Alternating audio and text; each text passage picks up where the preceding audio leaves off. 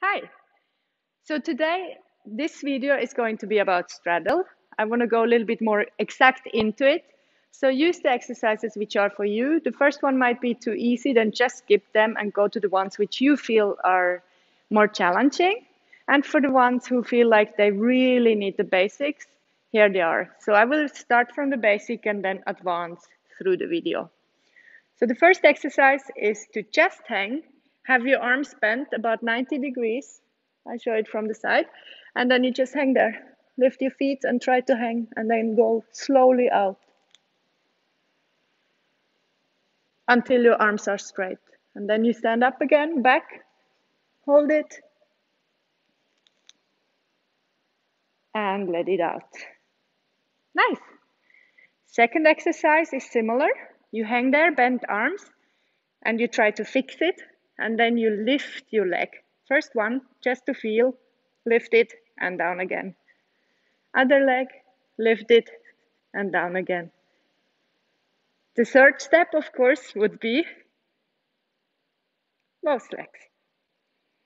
Great.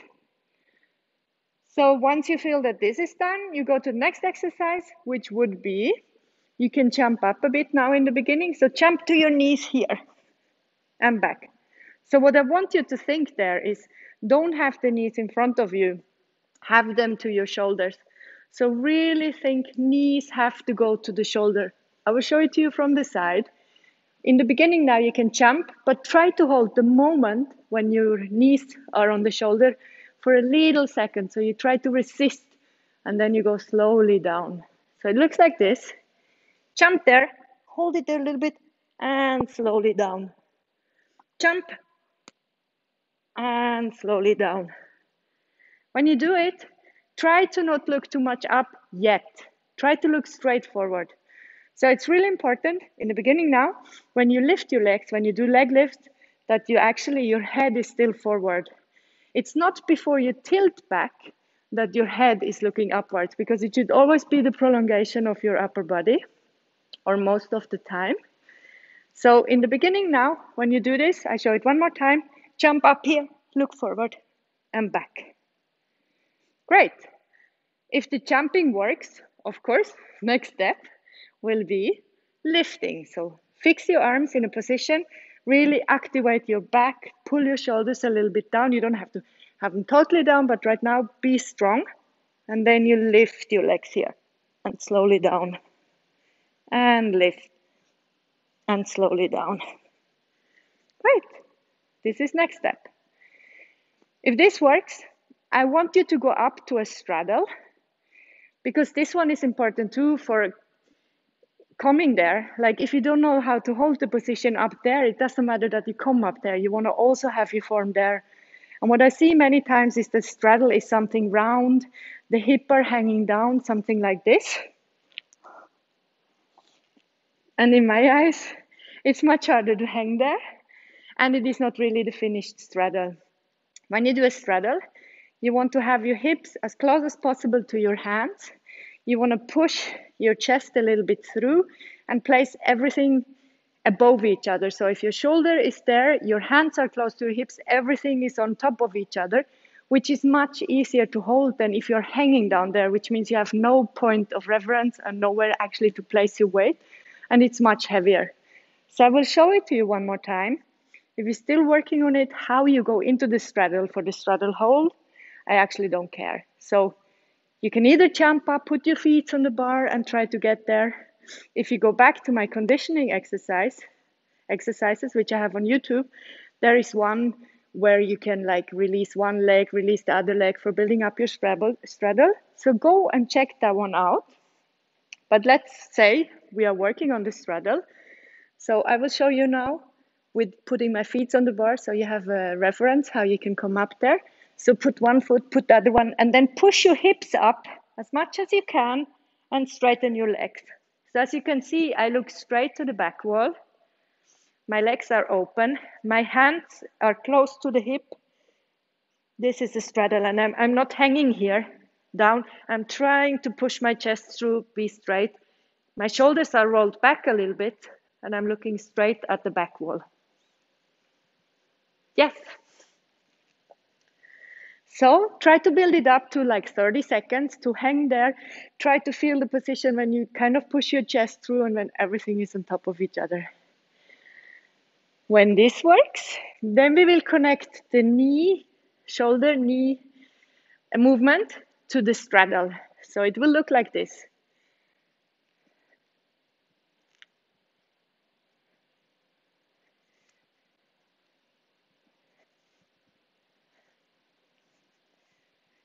I show it to you from the side. So it's kind of you tilt. You do the moment when you have your legs here to the moment when you straighten your arms, your head goes back and you're pushing your hips up towards the hands, towards the bar. So this moment we are training there. Let me show you one more time. So you have your arms bent there and then you straighten your legs and your arms, sorry, and you put your hip towards your hands and then you come back here. And then you tilt back. And here. Notice that my head is going along with the movement. Great. Now we are much closer on doing a nice inverted straddle because the goal is that you actually can invert with bent or with straight legs in the air even, not just with the floor under. So all these exercises are building up to that strength now we are starting get, to get closer to the straddle. One thing I would like to talk about, which I personally think is really helpful and really important, is the negative way. So every time you come down, you just drop down, you actually miss the possibility to build up your strength. In my experience, the times I, I've been using the negative, I've been doing it really well on the down, way down, I gained much quicker strength. So every time you do a straddle, if it's a jump up or whatever you are working on, try to go down as slowly as possible to hold against the force which is pulling you down. Of course, until the moment you drop it. But I promise you, every time you will come a bit further down. This is especially important in the next few exercises which we are going to do. Number one, so now we have been doing the straddle position itself we have been doing this switch from the shoulders to coming up there back. We have been jumping up to the shoulders. So now we will try to jump up into a straddle to start with. Uh, let me just show it to you. Again, one more thing, which I maybe didn't mention before. For a straddle, you have your hands quite close together. So the hands are close together and the thumbs go around you kind of grab from the top and slide your hands around a bit. So yeah, this is the easiest way, or for me, it's the best grip I can get. Okay, back to the straddle. So have the arms still a little bit bent and then try to jump up to it. And slowly down. Good. If this is too hard, you can, in the beginning, put your feet on the bar the problem is only if you do this too long, you will always aim for here. And actually, your feet have to be behind the bar for a straddle. You want to go behind your shoulder. So if you just aim here, what happens is a little bit that you look up and you put your feet there. So your hip and everything is still low. What you want to achieve is actually your hip high and your legs back. So the difference would be even if you don't have so much strength, that strength, that you aim with your knees to your shoulder and then straighten the legs backwards. So it looks like this. So aim your knees there and straighten back. And back down. So if you aim there, even if it doesn't work in the beginning, try to think knees to your shoulder and then maybe grab the bar. So if you like come here and then do, your hip is already in a certain height. Otherwise, it will hang down there, your feet will go there, and you will not really come closer to the straddle. So next step was jumping up into the straddle and slowly down.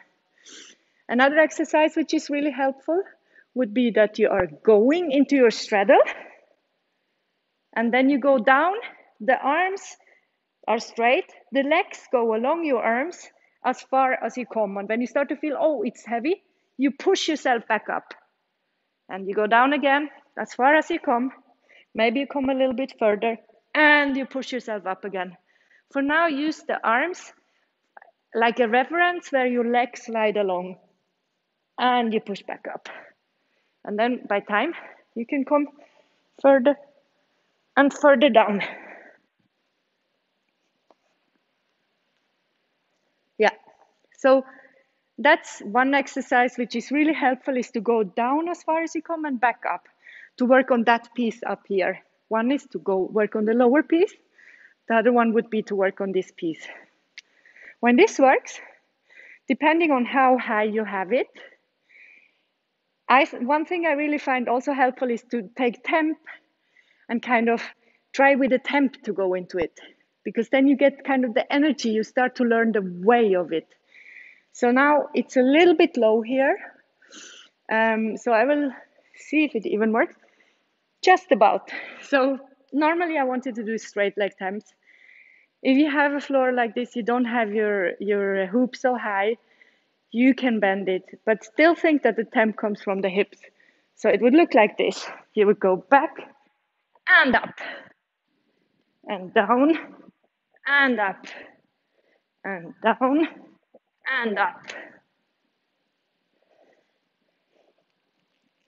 So as you could see, if I do it with temp, my arms stay straight. And this is something which you can start to work on too, because in the end, a straddle is nice, of course, if you have straight legs and straight arms. So coming closer to the straight arm straddle, to not have to bend it and pull yourself in, would be to use temps. So that is something you can train. Plus, you feel the temp helps you to get your hip up, because this is kind of the hardest part to get your hip up to your hands, of course. Yeah, and then what would be there is to lift it slowly in with strength. So connect all the exercises, knees to the shoulders, tilt and back. Knees to the shoulder, tilt and down. And again, knees to the shoulders, tilt, back. So it's hard to do it in pieces as you see, it will get the flow. And then the very last one would to be to do the same thing with straight legs. Each of these exercises, which I did with bent legs now, you can condition with straight leg. So same there, down,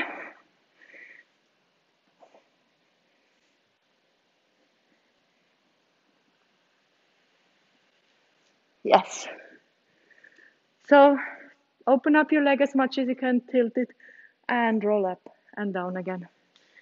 But this after all the other steps. Great. I hope you have something to work on. I hope your straddle gets better.